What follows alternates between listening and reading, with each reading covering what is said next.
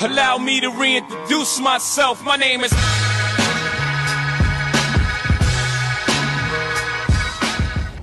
Yeah, KGR, welcome to my YouTube channel. If you're new to my channel, you're quite welcome. Please consider subscribing. Shout out to Brooklyn. Let's spread love in Brooklyn way.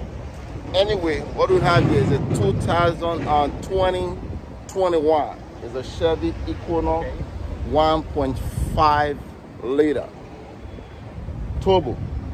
Apparently, there's a code that came up on the car, which I'm going to share with you in a moment. I already diagnosed it already, but uh, I don't have time to show all of that because there's a, a, lot of things that is going on in the workshop. I'm busy. So, anyway, the first code is um, code P0327. P0327 knock sensor. One bank one. And the other one is a P0330 knock sensor bank 2 so this car is, is a is a four cylinder but apparently it used two knock sensor there is bank 1 and there is bank 2 listen to this very carefully now. There is bank 1 and there is bank 2 though it's a four cylinder but it used two knock sensor the P0327 is the number one. That one is just to be above the starter right there. I'll bring it guys and show you where that one is located. But the Bank 2, the P0330, that one is in a hidden place. hidden place, what I mean, hidden place, hidden place. You cannot see it. It's right by the alternator. So to do this job, the alternator must have to come out to get to the second sensor. That's the one that I'm stretching. But the number one, you can get it. This car has a 71,000 miles. Sometimes you wonder, new car like this, how come it? But it is what it is. But having said that, I'm going to bring you guys along and show you where the knock sensor is located. Uh, not to forget, if you're going to change this, uh, make sure you, I will, I will really stress that. Make sure you buy it from the dealer. We're buying it from the dealer. That's the part number right there. Hold on. Make sure you guys see it. Yep. That's the part number right there. Right there. That's the part number right there. So they're both the same uh, sensor anyway. They're the same thing. That's the two. I'm changing the two. It's the same part number. You know, they are the same. So it's about $45. What? Yes, you're right. 45 bucks. You buy it, you change it, your problem will be gone. I wouldn't advise you to buy it from any other place, you know, because these are electrical thing. Anything electrical, you know, I remember I do change one, one time. I get I got burned out, so I have to go to a guy get it from the dealer. I think it was Acura MDX, you know. I end up buying it from the dealer. Anyway, that's it, and I'm gonna bring you guys along and show you where it's located and then what it's gonna take to do this. I haven't said that KG, you know my slogan. Let's go. We getting it right now. Big Shirley. Right? Big Shirley. Hey girl, how you doing? So as you can see, I took off the tire because the alternator is gonna be around here. So I have to disconnect the battery so this uh, this video is not all about how to take off the alternator. It's how we're gonna take care of that knock sensor, though we have to move the alternator. Once I do all of that, take off the belt and all that, I will bring you guys back and show you where that sensor is located and at the same time, I show you the top one too, all right? We'll be right all right so there's a heat shield right here right? See there's a heat shield covering up the covering the alternator. That heat shield has to come out before we can take off the alternator. Like i said before this video is not how to take off the alternator but to get to where that uh, or that or that knock sensor is. So let me take off that now. So there's a see that?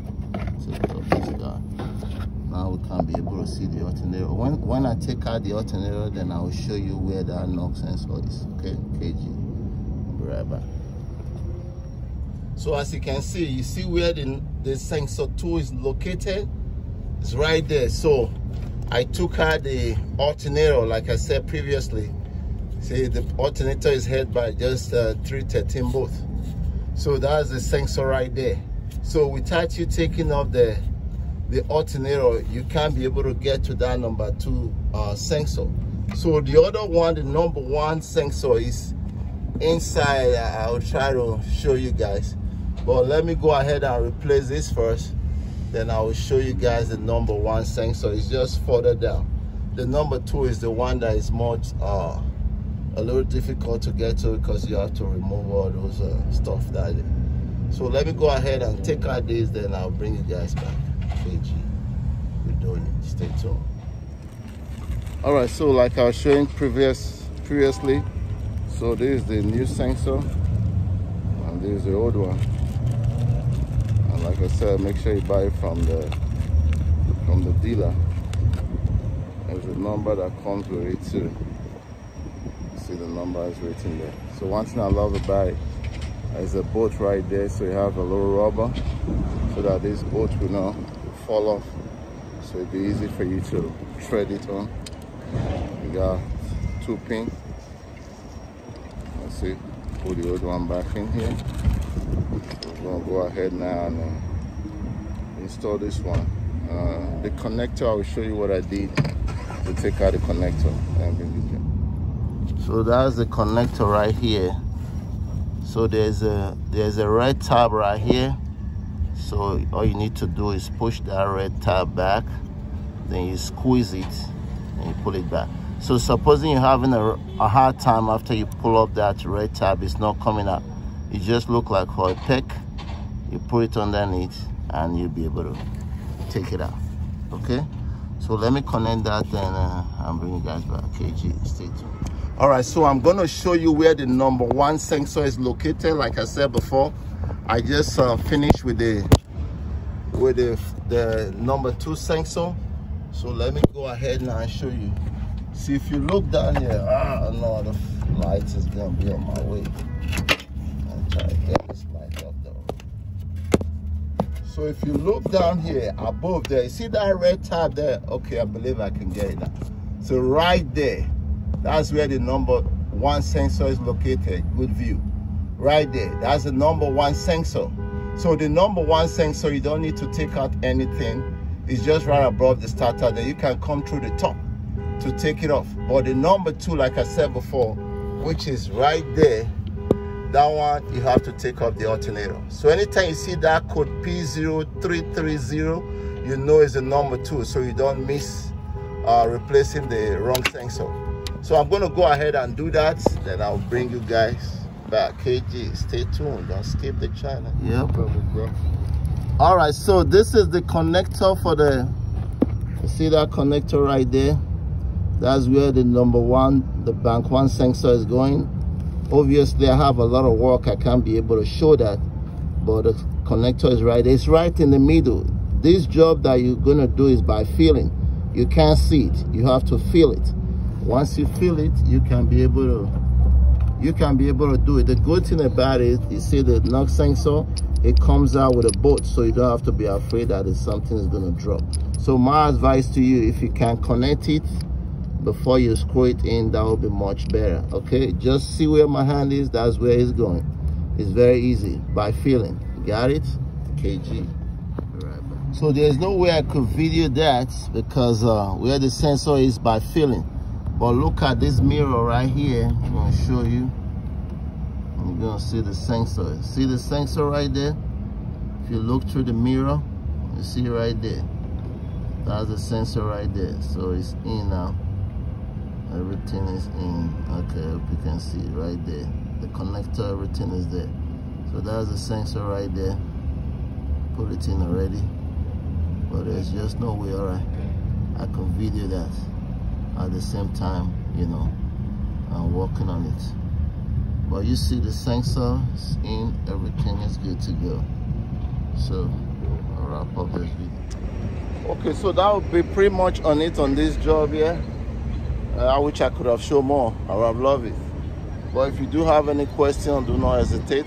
Like I said, I'm here to help you save money and all of that. But while I'm doing my part, the only thing I'm asking you to do for me is to sus uh, subscribe to my YouTube channel, like video, share the video, and that is all I'm asking. I really appreciate that. But until next time, God bless you really good. May the Lord bless you. May the Lord keep you. May the Lord cause his face to shine upon you. And above all, may he be gracious to you. All right, KG, sign off. See you next time on my next episode. Peace. I am God.